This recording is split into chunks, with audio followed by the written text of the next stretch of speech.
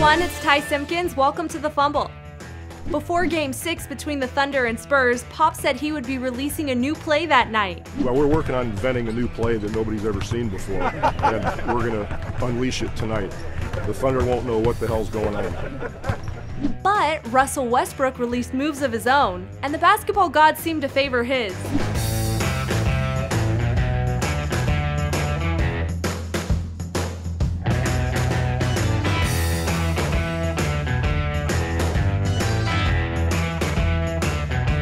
Pop admitted things weren't going according to plan. You see there in the first 12. As soon as we substituted, it went to crap. Pop, thank you, Mike. Durant had the most points at 37, surprise, surprise, and 9 rebounds. Westbrook wasn't far behind with 28 points and 12 assists, getting that double double. At one point, Westbrook drained a three and then posed for the crowd, letting them know.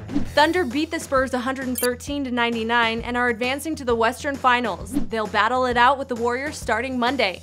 For more sports news, visit us at obsev.com slash the fumble and make sure to hit subscribe before you go.